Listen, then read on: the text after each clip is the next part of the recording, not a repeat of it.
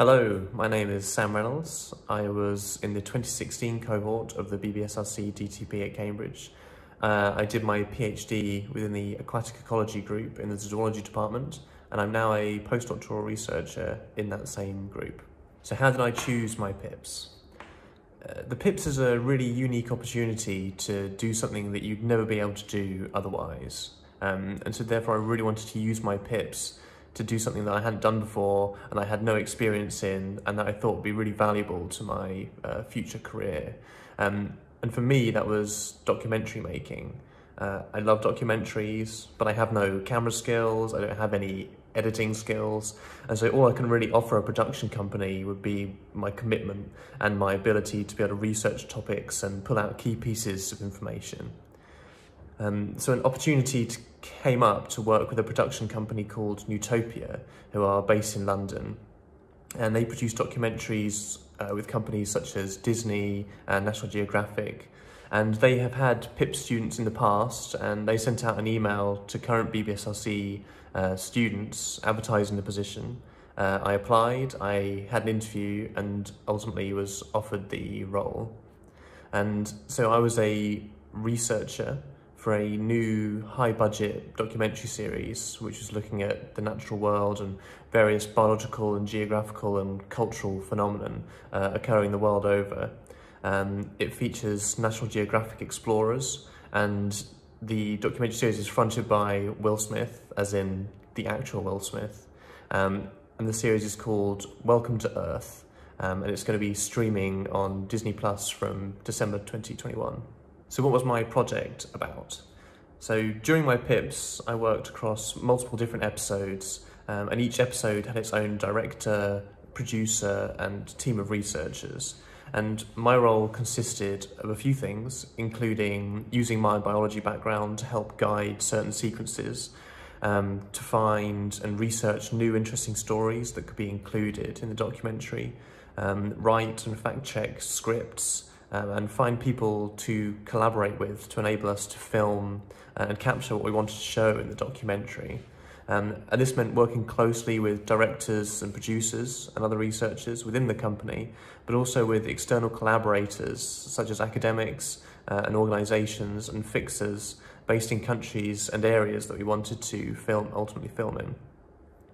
Um, I brought value to the team as much of the initial research would involve organising meetings with and talking to prominent academics and research scientists to discuss the feasibility of our ideas and how we'd be able to capture our ideas um, visually.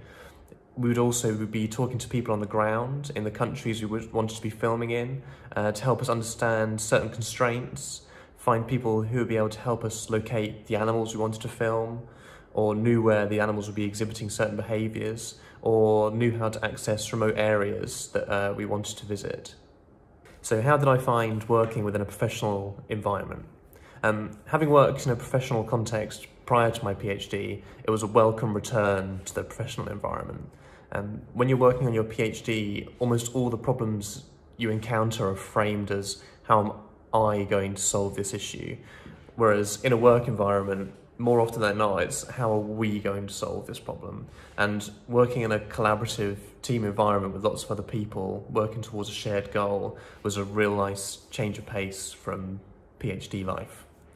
Um, the day-to-day work would involve lots of applied stuff, such as reading papers, watching videos, talking to scientists, looking at maps, learning about new animal behaviours or lesser known uh, cultural events, um, and also working on more creative and conceptual questions like how do we capture this idea visually um, and intuitively convey an idea or concept without a voiceover telling you what you're seeing?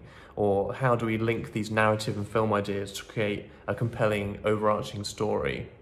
Um, which is a lot of fun, um, usually sitting around the office just bouncing ideas off each other. So I'm going to speak a bit about some of the experiences that I had on my PIPs and how I can apply these um, to my academic research. And so working on the project at Nutopia really made me think differently about collaboration and impact. So in terms of collaboration, we work with lots of scientists filming things from uh, fungi growth to starfish larvae movement. And because of the sophisticated kind of macro lens cameras and high definition, high frame rate equipment that we had available, we helped these labs see behaviors and patterns and details that they'd never been able to see before. And that was hugely exciting for us because we got to put these things in our documentary, but it was hugely exciting for the lab because they've been working on these things for decades and never seen these kind of behaviors before. Um, and I think as scientists who would rarely think to collaborate with people outside of academia, um, but going through this experience made me realise that there's a lot of value uh, in doing so. So with regards to impact, it made me realise that the impact of your research goes far beyond just producing academic papers. Um, and of course, fundamental peer-reviewed research is really important. Um, but for enacting kind of social awareness and social change, um, for example, like the wider public didn't become acutely aware of the impact of plastics on our environment because they read it in a paper in an academic journal. Um, it's because David Attenborough's documentary series visually demonstrated the impact that we're having on our planet. And the power of engaging and visual storytelling is really important and the reach of these popular and visually stunning documentaries extend far beyond the reach uh, of academia.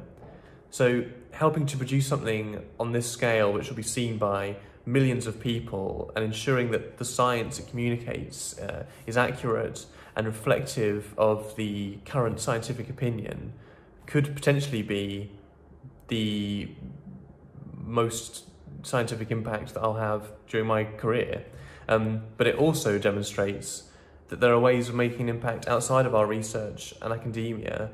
And all of us undertaking our PhDs have gained these skills to uh, fundamentally understand research. Um, and we can use this skill to help other people understand it as well. So lastly, I'm just going to cover some advice for people looking to undertake their PIPs. Um, so firstly, try and realise that the PIPs is not a tick box exercise to complete or a barrier between you being in the lab and getting on with your research. It's an opportunity to get involved with a project or an organisation in a capacity that you would never be able to under normal circumstances. There is no way that I would be able to apply to Nutopia as a random person off the street with no TV experience and expect them to let me work on one of their biggest nature documentary series. It's just unrealistic. Um, being at Cambridge and having this funded opportunity through the BBSRC PIP scheme allows these organisations to take a risk on you as they don't need to worry about the legalities of unpaid interns or covering your expenses as it's all handled by the BBSRC. Um, it's a win for them because they get to have you for free for three months. And it's a win for you because you get access to a new area or environment where you can gain experience, but more importantly, connections um, that you otherwise wouldn't have access to. I'd also try and be clear in your mind about what you want to get out of the PIPs. It's a perfect opportunity to try something completely new or try something that you're considering as a future career it's often advised that you do your PIPs earlier rather than later. However, I did my PIPs towards the end of my PhD and I was absolutely fine. It really just depends on the kind of research that you're doing. And additionally, all the contacts that I made were still in the same roles when I finished my PhD and they offered me a position to come and do work for them when I finished. Whereas if you do your, P your PIPs right at the beginning of your PhD, two or three years later, the people you made contact with might have moved to other companies or changed positions. Um, but ultimately, the PIPS is an opportunity that shouldn't be wasted because it's an opportunity that you won't have again and you really need to kind of maximize this opportunity that's been given to you.